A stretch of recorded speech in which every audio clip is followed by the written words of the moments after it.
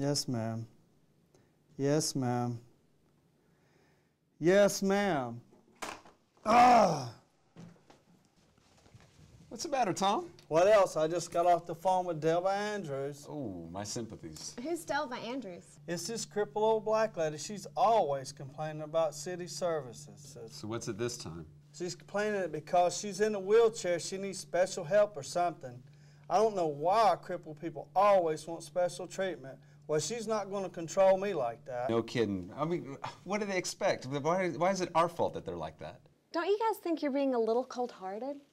Hey, you don't have to put up with it all the time. And on top of that, she's always complaining that her race is not being respected.